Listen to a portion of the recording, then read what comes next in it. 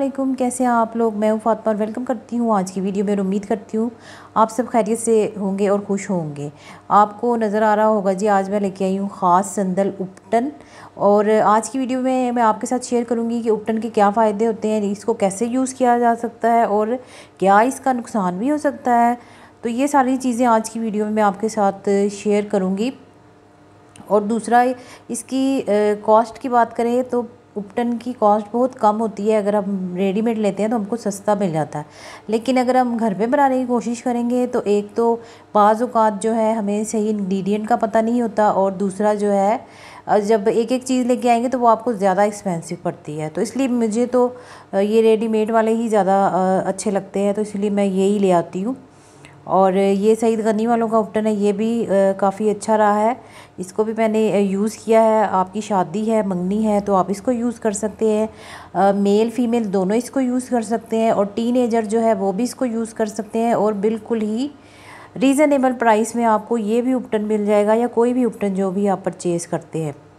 तो उपटन जो होता है, वो आपकी स्किन को यंग रखता है, यानी कि आप जवान रहते हैं, आपके फेस पर रिंकल जो है वो देर से आते हैं। जितना आप अपनी स्किन का ख्याल रखेंगे, उतना ही रिंकल जो है लेट आएँगे। आपकी जो फेस की स्किन है वो टाइट रहेगी, आपके डार्क सर्कल ख़त्म हो जाएँगे, एक्नी वगैरह का शिकार है तो भी आप इसको यूज़ कर सकते हैं। इससे आपकी एक्नी भी ख़त्म हो सकती है और आपकी स्किन स्मूथ भी हो सकती है और शाइनी भी हो सकती है अगर आप रेगुलर सही तरीके से इस्तेमाल करेंगे। आप उपटन को चाहें तो प्लेन वाटर के साथ भी इस्तेमाल कर सकते हैं। अगर आपको बहुत ज़्यादा नखरे टखरे करने की आदत नहीं है तो आप सादे पानी में इसको घोलें और अपने फेस पर या बॉडी पर भी अप्लाई कर सकते हैं। और अगर आपको नखरे करने की ज़्यादा आदत है तो फिर आप रोज़ वाटर में भी मिक्स कर सकते हैं। दोनों सूरतों में ही ये अपना रिज़ल्ट देता है, ठीक है? क्योंकि बाज़ों का ऐसा होता है कि रोज़ वाटर नहीं होता तो आप इसको इजीली पानी में भी मिक्स करके लगा सकते हैं। उपटन जो होता है, इसमें चंद एक मेन इंग्रेडिएंट होते हैं जिनमें हल्दी होती है। ज़रूरी नहीं है कि आप वो किचन वाली ही हल्दी इस्तेमाल करें, इसमें ख़ास तौर पर कस्तूरी हल्दी ऐड की जाती है, जो हमें ज़रा मिलना मुश्किल होती है। समझ नहीं आती कहाँ से ले, कहाँ से बंदा ना ले तो इसलिए बंदे को चाहिए कि वो जो है ना इतना टाइम ज़ाया ना करें और कोई सभी रेडीमेड उपटन भी परचेज़ कर सकता है। तो इसमें कस्तूरी हल्दी ऐड की जाती है, बेसन ऐड किया जाता है रोज़ वाटर ऐड किया जाता जाता है। जो कि स्किन के लिए बहुत ही बेहतरीन है।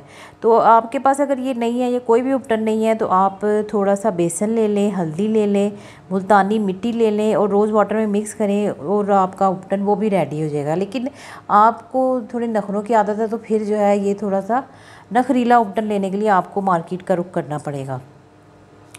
तो मेरे पास ये वाला है खालिश उपटन संदल के बेतहाशा फ़ायदे हैं। वो भी आपकी स्किन को ग्लो भी देता है क्लीन भी करता है डार्क स्पॉट का ख़ात्मा करता है एंटी एजिंग होता है। संदल पर भी एक वीडियो मौजूद है मेरे चैनल पर, अगर आप देखना चाहते हैं तो वो भी देख सकते हैं।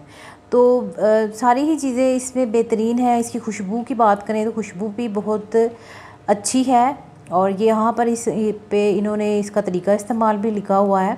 मेरा मकसद सिर्फ़ किसी कंपनी के उपटन के बारे में बात करना नहीं था। मेरा मकसद था कि आपके साथ उपटन को डिस्कस किया जाए। तो अगर आप लोग कहेंगे तो मैं आपको होममेड उपटन बनाना भी सिखा दूँगी। आप कमेंट बॉक्स में बताइएगा, फिर मैं वो भी आपके साथ शेयर कर दूँगी। वो भी कोई इतना मुश्किल नहीं होता है। जब आप इसको ओपन करते हैं तो सबसे पहले तो बड़ी प्यारी सी एक खुशबू आती है। यहाँ से ओपन करेंगे, यहाँ से।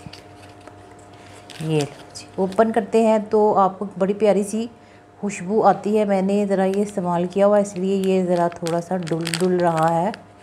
तो ऐसे ही खोलते हैं आप तो फटाफट इसकी खुशबू आएगी। मैंने पहले भी इनका एक उपटन जो है शेयर किया हुआ है।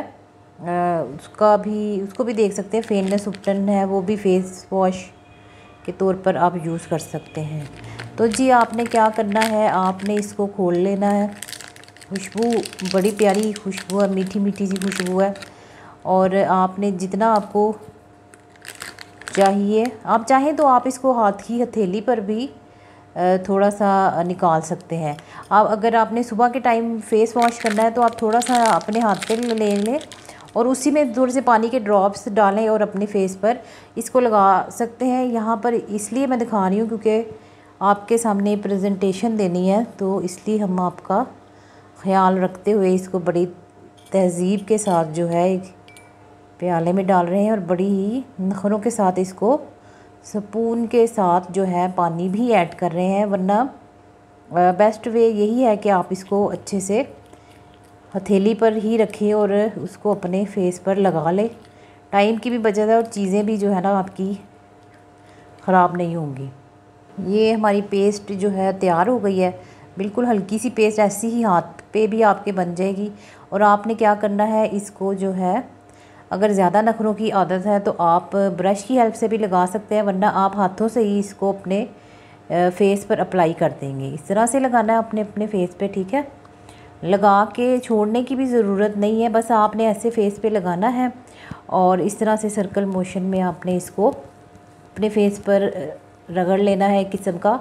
तो अच्छे से जिस तरह आप साबुन से मसाज करते हैं या स्क्रब करते हैं, उस तरह से आप इसको अपने फेस पर लगा लेंगे, ठीक है?